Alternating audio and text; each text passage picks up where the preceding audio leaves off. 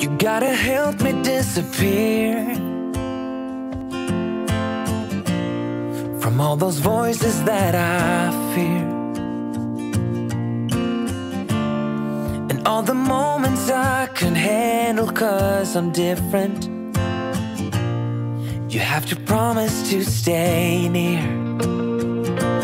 Oh, you're always telling me the truth. That's why I lean on you. You Mayong adlaw ka natong tanan, John G. Snell Babayap, Mayor of Tagbilaran City, Bohol, and this week's episode is special because we are celebrating Father's Day. Ako ang pag-greet sa tanan ng mga papa, mga tatay, mga daddy, mga dada, dinhi sa dakbayan sa Tagbilaran o sa tibuok kalibutan, a very happy Father's Day. O, ingon man special gyud kayo ang greetings nato para sa akong amahan nga si Daddy John Yap, ako ang father-in-law nga si Daddy Ondoy Cajes, ug ang akong igsuon nga si Jim Yap. Tungod kay Father's Day man, naa na tayo ipanghatag nga una-una nga Father's Day gift sa mga tagbilaranon. Sa mga buntis, ato ang ipanghatagan og 500 pesos sa tanan ng mga buntis nga lumulupyo dinhi sa dakbayan sa Tagbilaran. Ang atong dadon lang is ang prenatal nga record. Ikaduha, ang ato ang ID nga lumulupyo ta dinhi sa dakbayan sa Tagbilaran. Makadawat dayon mo og 500 pesos gikan sa City Government of Tagbilaran. So again, siya sa tanan buntis nga lumulupyo dinhi sa dakbayan sa Tagbilaran. Dili tanan makaselebrate og Father's Day. Ako ipakita ninyo ang picture sa bata nga tuwa karon sa dakbayan sa Cebu para magpatambal tungod kay naa siya sakit kuyog sa iya mga ginikanan. Ako ipabalo nga wala ko mga og tabang ninyo tungod kay sagot na ni Mayor Babayap ug sa mga donors nato ang mga ipangbayad sa hospital, sa mga tambal ug uban pa.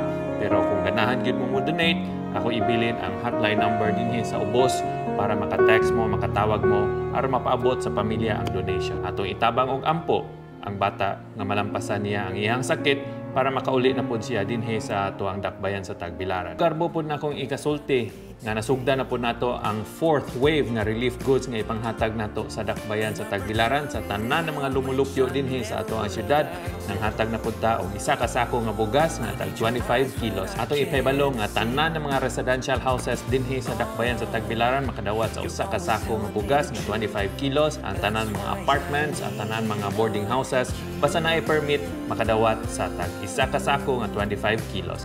Dili man perpekto ang ato ang sistema pero kung naamoy mga reklamo, mga concerns, ako gyud po ibilin ang hotline number dinhi sa ubos para maka-text mo or makatawag ug di man gani mo PM lang mo sa ato ang Facebook account. Atong pagpasalamat sa ato ang 14th sangguniang panglungsod headed by Vice Mayor Toto Veloso atong magpasalamat sa ato ang mga kapitan, sa ato ang mga barangay officials, sa ato ang mga purong tanod, sa mga BHW, sa ato ang mga casuals, sa ato ang mga workers, o sa ato ang mga department heads na nakahatag ng yuta o fourth wave nga relief goods dinhi sa ato ang dakbayan sa Tagbilaran. Ah, daghang salamat ni Mayor Baba sa 25 kilos nga bugas. Naabot na mayong balita para sa ato ang mga estudyante sa ato ang Tagbilaran City College, na ibaw may nga dili na pwede ang face-to-face nga klase sa pagkakaroon and daghan kayong ng PM sa ato ang Facebook account, ng text sa ato ang number nga maglisod sila sa online karon tungod kay wa kayo internet sa ilahang mga panimalay. Ang ato ang gibuhat, atong panghatagan og libre nga pocket wifi ang tanan ng mga estudyante sa ato ang Tagbilaran City College. And para di maglisod sa load, atong hatagan ni sila og tag 500 pesos every month para na load ang ilahang pocket wifi. So wala na rason nga dili sila makasubmit sa mga requirements, dili sila maka-join sa ato mga online classes ang tanan ng mga estudyante sa Tagbilaran City College. Whenever I've bitten off more than I can chew, that's when I lean on Kuyog ni. First Lady Jane Yap, atong dakong pasalamat sa private sector na ning donate na pod para sa gugma sa Tagbilaran para makahatag na pud ta og lain nga sector dinhi sa syudad sa Tagbilaran.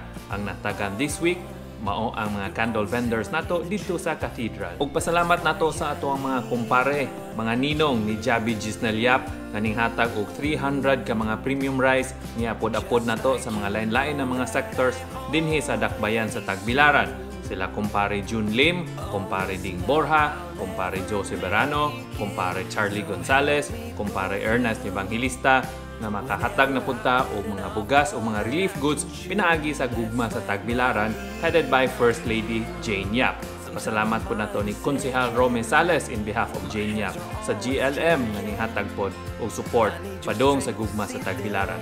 Daghang kaayo mga sectors ang matabangan ug mahatagan pinaagi sa inyong suporta. So salamat kaayo. Ug ang giadto sa gugma sa Tagbilaran this week, ang mga candle vendors na to dito sa cathedral, labi na nga wala pay misa atong panahuna and at the same time nawad-an gid sila og panginabuhian.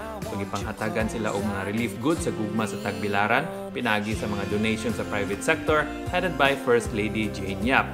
Timing po kaayo nga dito na to gibutang ang ato ang mobile kitchen. So ipakita na to ang distribution sa ato ang mga food packs, mga relief goods, padong sa mga candle vendors That's why I lean on you. Just like you know that I always do. Oh, listen now, I'll ever make it. So help me pull through. Whenever I've bitten off more than I can chew, that's when I lean on you. Dinhi ko to ba nga to ang vlog? Stand together, Tagbilaran City. You put me where I need to be. An opportunity on which I never would have acted.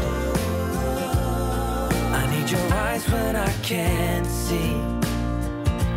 Oh, you're always telling me the truth. That's why I lean